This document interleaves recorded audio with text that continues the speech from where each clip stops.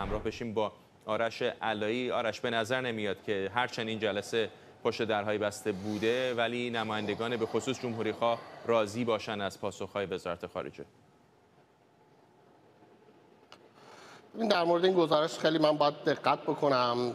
در مورد اینکه کدوم یک از منابعمون رو ما می‌تونیم نامشون رو فاش بکنیم و برخی از منابعی که با ما صحبت کردن رو در شرایطی صحبت کردن که نامشون رو فاش نکنیم. بنابراین اون چیزی که ما مستقیما می‌دونیم و منابعی که می‌تونیم به شما بگوییم این است که سخنگوی کمیته روابط خارجی مجلس نمایندگان آمریکا در پاسخ ایمیل ما تایید کرده است که این جلسه امروز صبح برگزار شده است با نمایندگان وزارت خارجه و گفتند که نمایندگان وزارت خارجه حاضر نشدن ابهامات رو روشن بکنن. و بخشی از اون در واقع گفتن بخشی از اون بهانه ای هم که دارن برای اینکه ابهامات رو روشن کنن برمیگردد به یک قانونی به یک لایحه ای که به حقوق در واقع فردی ربط دارد. اون چیزی که شما به پرایوسی اکت می‌شناسید در قانون آمریکا و حریم خصوصی شما رو در واقع یه جوری قانون به شما این حق رو می‌دهد که نگه دارید برای خودتون. از اینجا به بعدش داستانی است که کارشناسانی که با ما صحبت کردن کسایی که نخواستن نامشون فاش بشه.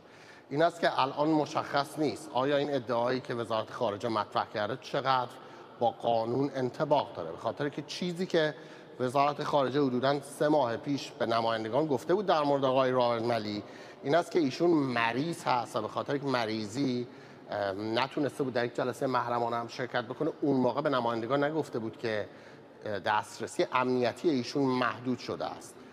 یه وقت از حالا یک مقامی ممکنه مریض باشه اون مریضش ممکنه خیلی حاد باشه.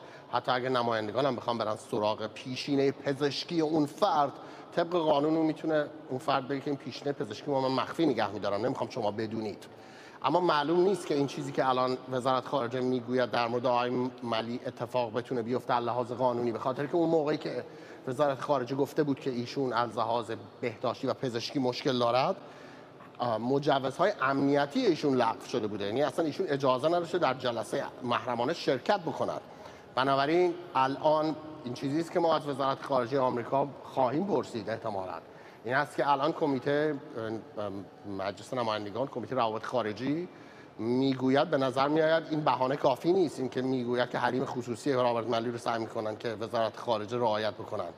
و ربطی نداره به این مسئله ای که دروغ گفتن در واقع یا پنهانکاری کردند در مورد اینکه چه اتفاقی افتاده است. چرا آقای رابرت ملی مجوزهای امنیتیش لغو شده؟ هیچ ربطی نمی‌تونه داشته باشه به مسئله پزشکی ایشون. به هیچ وجه ممکن نیست که مربوط باشد به, خاطر به مسئله پزشکی. این داستانی که مجوزهای امنیتی یک فرد بخواهد لغو بشود. بنابراین این داستان هنوز به پایان نرسیده است. با اینکه به نظر میآید وزارت امور خارجه آمریکا سعی کرده مهلت رو رعایت کنه برای که احضاریه برای شخص وزیر یعنی آقای انتونی بلینکن صادر نشود. چون اگر کار به اونجا می‌کشید اگر آقای انتونی بلینکن پاش رو میذاشت اینجا در کنگره آمریکا پلیس کپیتال می‌تونست دستگیرش کنه.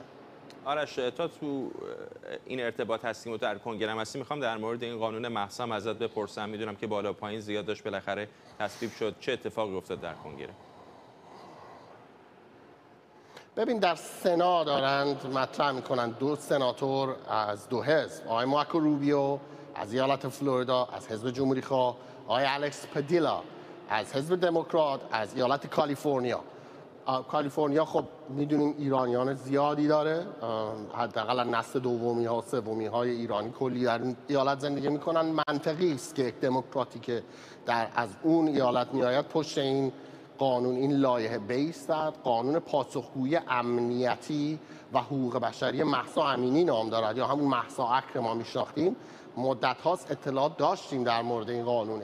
این قانونی است که می‌خواهد یک سری از تحریم های بر علیه بیت رهبری سپاه پاسداران ارگان های سرکوب در ایران رو تبدیل به قانون و نهادینه بکنه. به این معنی که دیگر رئیس جمهور آمریکا تنها نمی‌تواند در یک توافق احتمالی در آینده با رژیم جمهوری اسلامی این تحریم ها رو کنم نکن بکند. و تبدیل به قانون می شوند از یک طرف دیگه هم هر 90 روز از رئیس جمهوری آمریکا می‌خواهد که یک گزارش غیر محرمانه ارائه بدهد. در مورد نقض حقوق بشر در جمهوری اسلامی ایران و ناقضان حقوق بشر رو به کنگره معرفی کنن یا حداقل برنامه دولت آمریکا رو برای اینکه این ناقضان حقوق بشر احتمالی رو بخواهد تحریم کند رو به کنگره اطلاع بدهد. به زودی اون چیزی که ما می‌دونیم در سنای آمریکا مطرح خواهد شد. به زودی که می‌گویم الان حدود دو سه هفته قرار است که سناتورها و کنگره برود به تعطیلات تابستانی. بنابراین انتظار می رود در این دو سه هفته با هم صحبت کنند دفاتر مختلف سناتورها. اگر بندی تبصره ای می‌خوان بهش اضافه کنن یا کسب کنن از همین حالا با هم سنگاشون رو وا بکنن و بعد از اون بعد از دو سه هفته بازگردیم و ببینیم که احتمالا در سطح سنا مطرح میشه به شور گذاشته میشه و به رأی گذاشته میشه. آرش علایی در کنگره آمریکا. ممنونم.